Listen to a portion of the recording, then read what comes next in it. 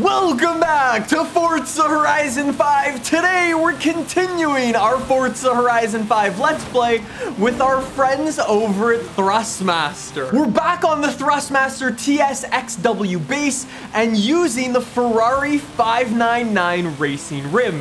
And today I wanted to go in, unlock some more accolades. Actually, actually, speaking of accolades, I've never done that danger sign. Okay.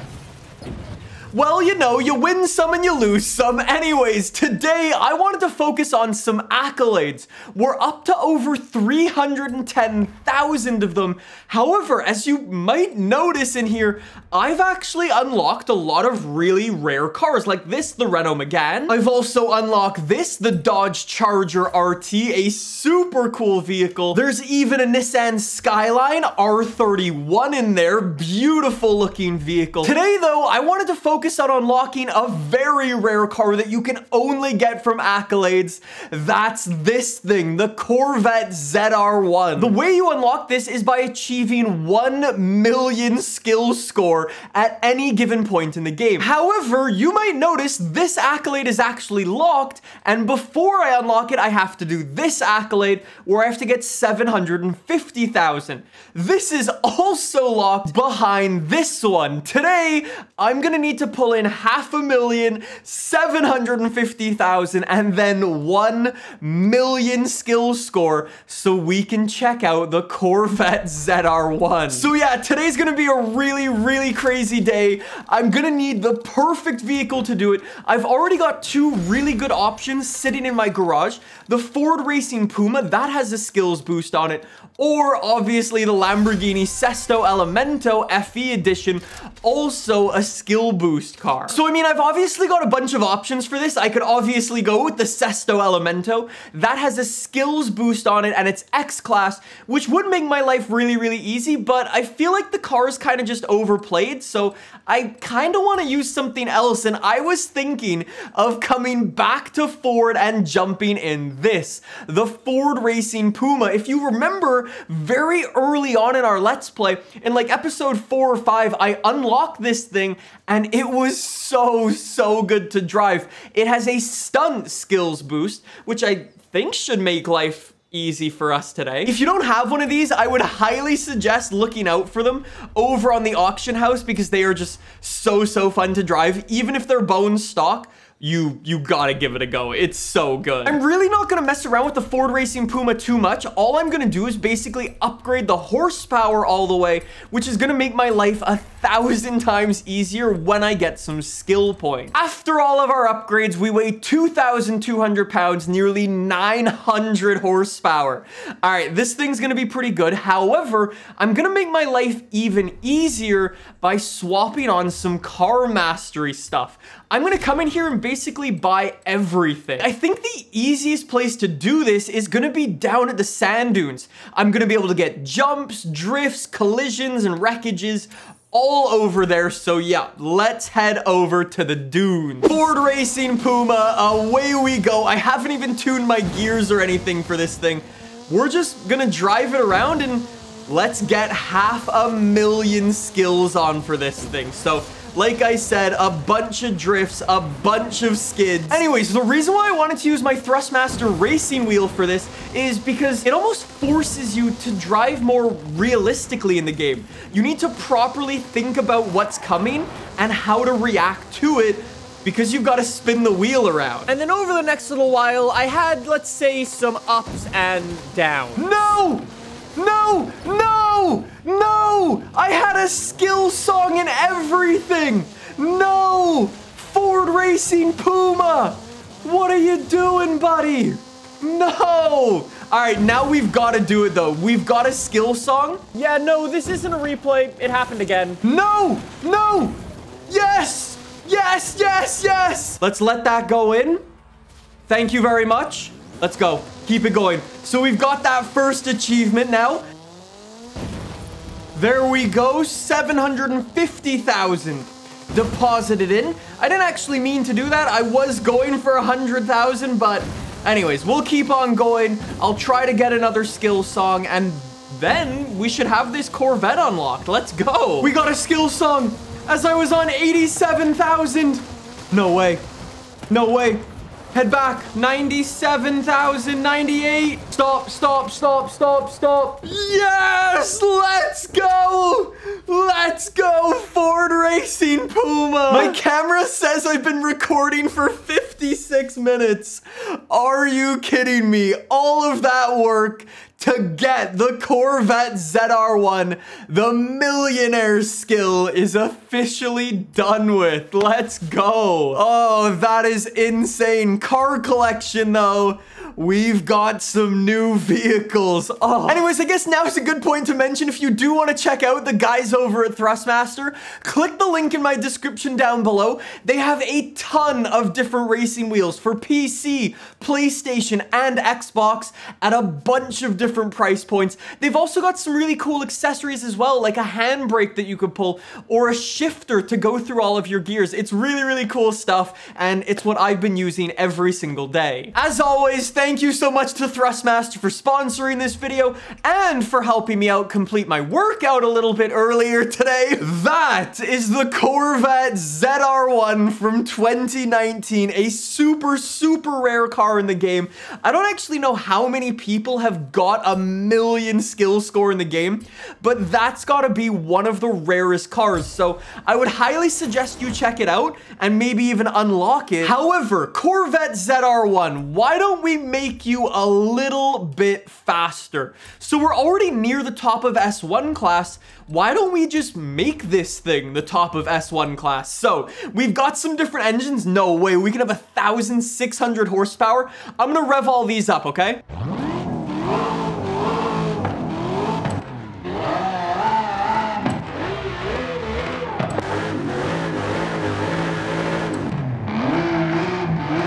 Okay, can somebody tell me what is going on with these three V12 swaps available for the Corvette?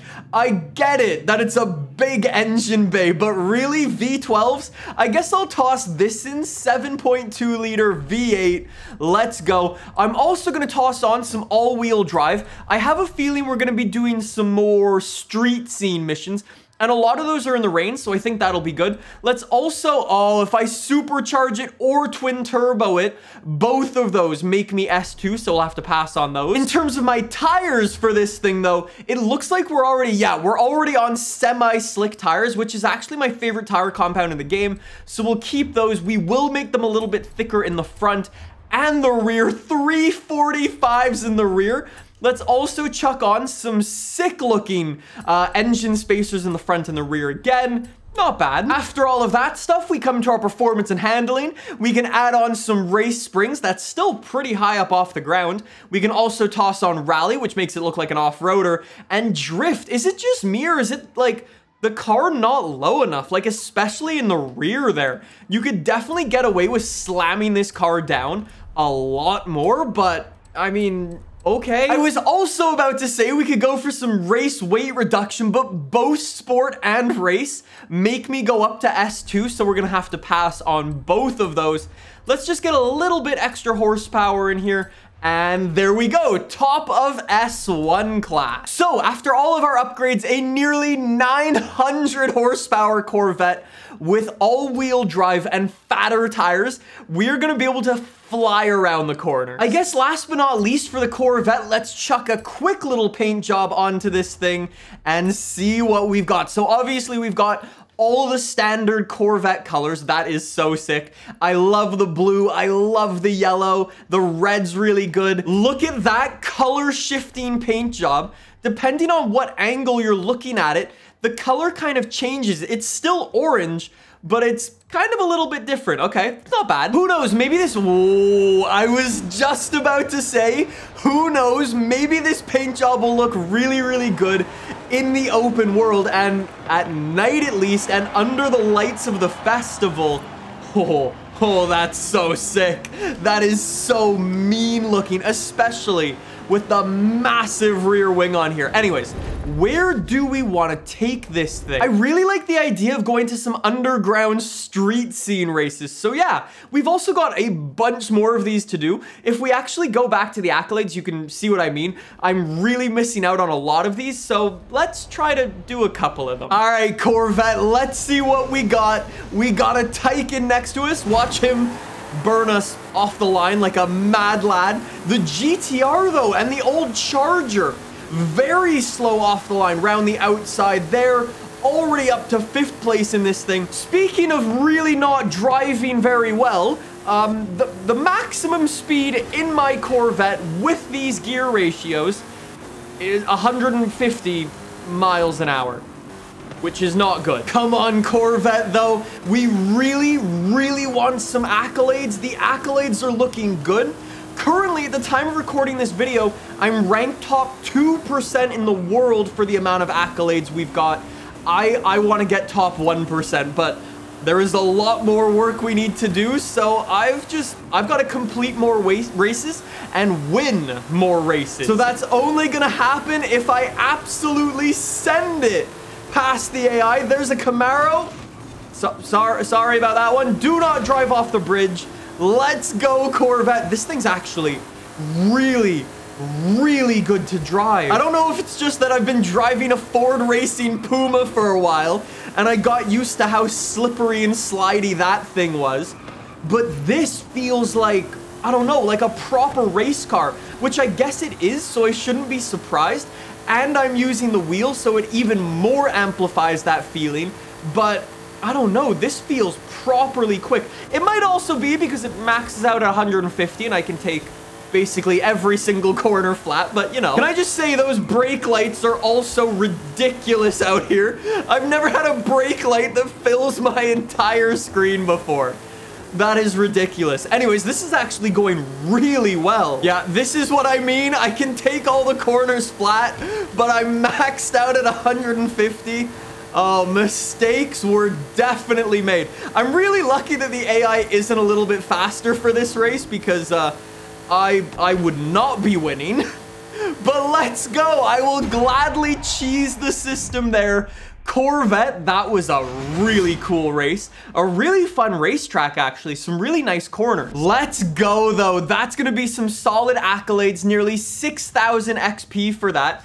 That's not bad at all. I think we need to, right away, though, fix up those gear ratio. Bro, bro, what do you even call them? Okay, Corvette, race number two for you, this time with some fixed up gear ratios. So we're gonna be a little bit slower off of the line, but we're gonna have a way, way better top speed going into these straights and everything like that. Like, this thing feels so good to drive on a wheel. It's just ridiculous. Whoa! All of the AI runs it wide. We go up to first as the Taycan rejoins the circuit, but a little bit slowly. Okay. Okay, unfortunately though, this race is just a lot of really tight corners. I probably could have got away on this track with our super short gear ratios. There we go, reel in the top speed. We're already doing 160 going around a corner, 170, and we're going up to sixth gear. That is more like it. Let's go, Corvette. Thank you very much, though. Corvette ZR1 what an absolute beast. All four wheels up into the air, jumping it across the line and into the off-road section. Into the off-road section. Corvette. Huh. Trust me, this will actually make a lot of sense. Let me go for the off-road tires. Look at my class. It goes from the top of S1 class down to the middle of S1 class. Now I can either toss on a big old twin turbo or I could go for some weight reduction. What is more important for this thing? You know what? I feel like the horsepower was kind of good. Let's go for some weight reduction on this, and then let's add up our horsepower slowly with some more of these. I'm not gonna lie, the Corvette looks ridiculous like this, but you know, maybe, maybe. Here's a nice little circuit race. Half of the race is on the road and the other half is off-road. Yes, Let's give that a go. All right, Corvette, we're definitely gonna be destroying some supercars today. We've got some Ferraris, Lamborghinis, there's a Porsche 911, and everything in between, even a Caterham out here. Anyways, let's put these off-road tires to the test and see if a Corvette ZR1 can do off-roading. We definitely have very, very little grip with this thing, but I don't think anybody in this race has that much grip, so I've just, I've kind of got to send it. I've kind of just left the car in sixth gear. Okay, this thing is actually a death trap, though, on road, with a little bit of rain on the road. It has no grip. It's sliding out from underneath me, even with our all-wheel drive. All right, if I dig deep, dig deep, catch up to the AI. Come on. I'm really slow on the tarmac. I've got to do all my catch-up off-road. Come on. Here we go. Gaining. Gaining. Gaining on the guys in front. This is actually really nice. This is really nice to drive off-road. Can somebody please tell me how I made a Corvette actually drive off-road? Not just okay, but well. Okay, other than the jump. Other than the jump, we are looking so good. Up the inside on the Porsche, I've got grip for days off-road. On-road, I struggle, but we're up to second. Okay, one more guy. One more. That's it. Dig deep. Oh, wow. Look how far the guy in first place is. I genuinely do not know if I can catch that up. I'm going to try. If we're going to do it, we're going to do it off-road. Come on, Corvette. Send it. I have no idea what that guy's even driving, but I've just got to just push. Just push and fly. Come on. I'm actually the world's greatest rally driver. Definitely no poo came out. Holy, holy Corvette. Where is this coming from? Where is all of this driving skill just coming from? I'm being beaten by a Morris Minor. Are you having a laugh? Okay, go. Go, Corvette. Go. I'm trying to abuse all of the checkpoint limits. Go. Go. Go. Go. Go. No! No! No! Corvette! That was so, so, sick, though. You are kidding me. All right, the on-road build was good, but that was godly. Like, Look at the lap time out of that thing. You know what, Corvette? Let's wrap this up with a little off-road speed zone, okay? I want to see if you've really got what it takes. So we're all the way out in the jungle for this speed trap. Three stars is 110 miles an hour. Come on, buddy. Let's see if you really are as good as I think you are off-road. Cut the corner a little bit. Oh, oh, oh. Edit, edit, edit that bit out, please. Come on, Corvette. If I'm actually gonna do this, I'm gonna need to be very aggressive on these corner cuts, use the off-road tire compound grip, jump it through, through the right-hander, another right-hander, three stars! Let's go, Corvette! That was a struggle but that was so sick. That is a huge amount of accolades for the brown vehicle. No lie, I knew the Corvette was to be good at on-road driving. I had no idea. It was to be so good at off-road driving.